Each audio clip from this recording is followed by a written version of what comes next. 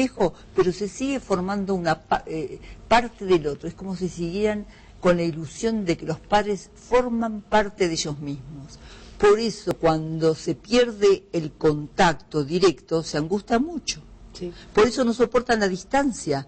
Y a la distancia eh, hay chicos que no pueden ir de campamento, que no pueden viajar y si viajan se angustian mucho porque copian los padres pero no los terminan de internalizar. Y este es el trabajo que tenemos que hacer nosotros como padres, lograr que los chicos se vuelvan, vuelvan a internalizarnos como figuras protectoras. ¿Cómo hacemos eso? Porque imagino que este no es un fenómeno de este siglo, es de toda la vida, ¿no? Lo que pasa es que ustedes han ido descubriéndolo ahora. No, no, no, no, es, le dejo terminar de comer. Este, no, es un fenómeno que empieza a producirse a partir del cambio que se da en el mundo, con los nuevos vínculos familiares tan afectuosos, tan cercanos, a partir del cuestionamiento del, modelo autoritario. Cuando se cuestiona el modelo autoritario en el mundo, que es a fines de la década del 70, los que, viste que cambió todo el mundo, las costumbres, la, música, el movimiento hippie, o sea, eh, el mayo francés, ahí empieza, ahí empieza este cambio. No me imaginaba una cosa así. Sí, fue, fue impresionante. Fue un cambio... Prohibido prohibir la, imaginación al poder. Ahí cambió todo. Esas fueron las consignas del Mayo francés. Y todos se prendieron. No sabían qué hacer para controlar esa situación porque corrió como un reguero de pólvora. Esos jóvenes que tienen hijos, cuando tienen hijos, ya transmiten la paridad inconsciente. Gracias. Y después, los que tienen hijitos, o sea, los adultos que ya han nacido en esta época de simetría inconsciente, tienen hijos que son muchísimo más simétricos. Entonces hoy nos encontramos con niños de dos años que mandan en la familia. Esto no pasaba antes, o sea, cada generación va aumentando la simetría inconsciente y la dificultad de los padres de contenerlos. Ariel Magüeño Moral llama y dice, soy hijo aún, pero quisiera saber por qué los padres exigen cosas que ellos mismos no han hecho y tampoco tienen pensado hacerlas. Si quieren que los hijos muestren interés por los estudios, por ejemplo, ellos deben mostrar interés por la cultura, cosa que no hacen. Los padres deben ser excusados de alguna forma por ser padres. Qué maravilla, ¿no? Qué linda pregunta, ¿no? Ariel, no, no dice cuántos años. Lástima que no tenemos la edad. Pero cómo eh, se pone a cuestionar por qué los papás que no les piden, les piden a ellos lo que ellos... Y él se, se los cuestiona a, los papás. Pero pues yo le diría, Ariel, ¿no? Que tenga un poquito de piedad también por sus padres que tenga un poquito de piedad porque quizás ellos no tuvieron el acceso a la cultura que él tiene. A veces no se puede interesar porque no han recibido una educación en ese sentido. Entonces él tiene también que ser un poquito más piadoso y, y, transmitirles su propia dificultad para estudiar o dificultad para hacerse cargo, pero digamos la confrontación con los padres de este lugar lo va a llevar a, quedarse más solo. sí, sí, sí, aunque esté bien que lo cuestiones de este lugar, no, no, está mal la reflexión, pero también hay que aprender a ser piadoso y cuidadoso. ¿Cuán cierto es esto de que cuanto más jóvenes son los padres, mejor se llevan con los hijos? Es decir, eh, más pueden comprenderlos que un papá eh, muy adulto, digamos, que ha sido papá a los 40 que uno que ha sido papá a los 20, digamos. Por un lado sí es cierto, pero por otro lado a, veces en jóvenes se da muchísima más rigidez para poder este, manejarlos a los chicos, porque como son también, están atravesados en parte por la simetría inconsciente, también esperan del chico algo idéntico a lo que son. O sea, tiene una expectativa que tiene que también eh, producirse, porque lo del espejo no solamente es de los niños hacia los padres, sino que los padres también esperan que sus hijos sean su espejo. Entonces, ahí se da a veces, cuando sale todo bien, son maravillosos, pero cuando hay una dificultad, Ahí se arma el asunto. ¿Cómo manejar las dificultades cuando el chico... Eso es lo que nos tienen que explicar ahora. Oscarito, hay más preguntas. Sí, sí, tenemos preguntas. Karen de la Paz pregunta a los dos invitados. Mi hijo se ha vuelto muy violento con su hermano menor y en el colegio me han dicho que pasa todo lo contrario, que es un niño muy introvertido. No sé qué actitud asumir. ¿Qué me aconsejan ustedes? Esta es tu especialidad, Claudia. No, dale, dale. No, dale, dale, Es maravilloso. A ver, un niño, es bastante natural que si es violento en la casa sea muy inhibido en el afuera. ¿Por qué? Porque no tiene recursos de comunicación para llegar, para no tiene recursos de comunicación para llegar a sus padres, sino que ejerce la violencia. Entonces, en el afuera es inhibido porque no quiere que se le note la violencia, no quiere que sus, er, sus compañeritos lo rechacen por ser violento. Entonces se inhibe. Entonces, yo lo que le diría a, este papá es que le explique a su hijo la inconveniencia que tiene esta forma de, tratar. El, padre le puede decir, mira, cada vez que vos, en vez de pedir lo que necesitas, de explicar lo que te pasa, de pedir las cosas bien, sos violento con tu hermano y en la casa, después resulta que no podés tener ningún tipo de, de, felicidad y de situación cómoda en el afuera, porque vos afuera no querés ser violento, entonces te inhibís. Porque pierde con sus amigos, obviamente. Con, ganás con tu hermano y perdés con tus amigos. A ver, ¿qué te parece? A ver si, te, digamos, hay que motivarlo a este chico, a este, a este chico para que se interese en cambiar y la verdad que lo que estamos diciendo es absolutamente cierto. Él puede ganar mucho si abandona la violencia y aprende a hablar. Pero el padre también tiene que aprender, tiene que contener. A ver, el tema que consulta es la pelea con el hermano.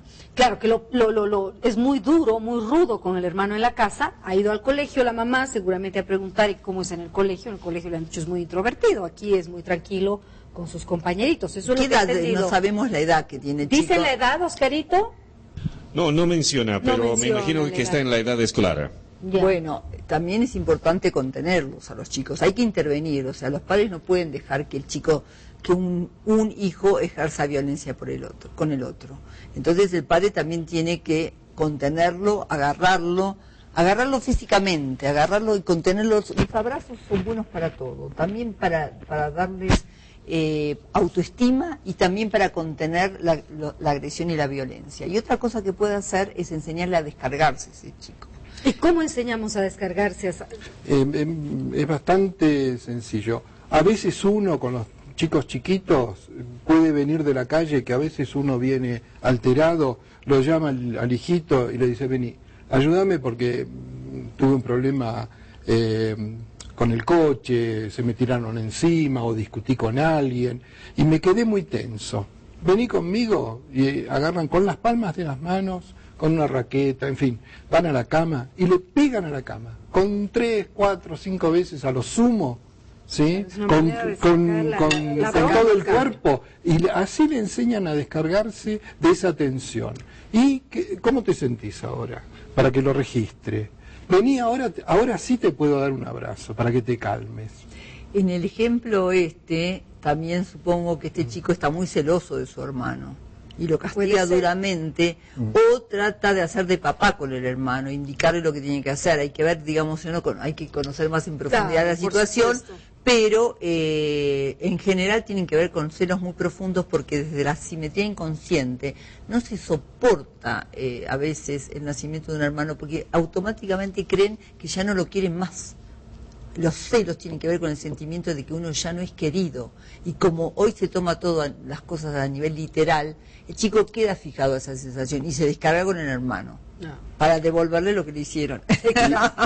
Eh, hay momentos, hay problemas que a veces se arrastran porque el papá o la mamá tuvo el mismo problema. Entonces, el hijo actúa lo que los ah, papás... lo que decíamos, el espejo. Ahora, ¿cómo... Neuronas espejo, neuronas espejo.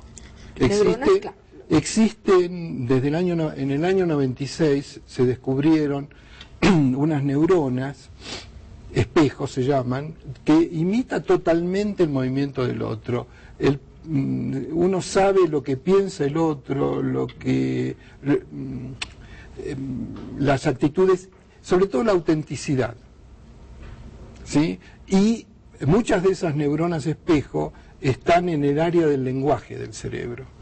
Por lo tanto, los chicos pescan enseguida cuando es auténtico, cuando mm, es uno está comprometido con lo que dice o no. Mucho cuidado entonces con nuestras actitudes, somos ejemplo definitivamente. Ahora, ¿cómo delimitar la relación entre padres e hijos sin perder la confianza del niño? Eh, a, través, a través de una comunicación que sea muy firme, pero a la vez muy afectuosa y muy comunicativa. O sea, hay que hablar de lo que pasa de verdad dejar, hay que abandonar los discursos. Hay que hablar con sinceridad de las dificultades que los padres advierten con los hijos. Por ejemplo, este señor que nos pregunta por el... A mí, hijo, me pone muy mal esta situación. Yo necesito que hagas un cambio porque nos afecta a toda la familia. Hay que hablar con sinceridad y con firmeza de lo que está pasando este, y proponerle que intervenga en las soluciones, o sea, hacerlo participar. Así que, eh, a ver, hay otra Qué interesante esta pregunta. Mavi de la Paz. Tengo un hijo de 13 años que se comporta conmigo como si fuera su hermana, porque yo fui madre muy joven. Quisiera saber cómo puedo sobrellevar esta situación.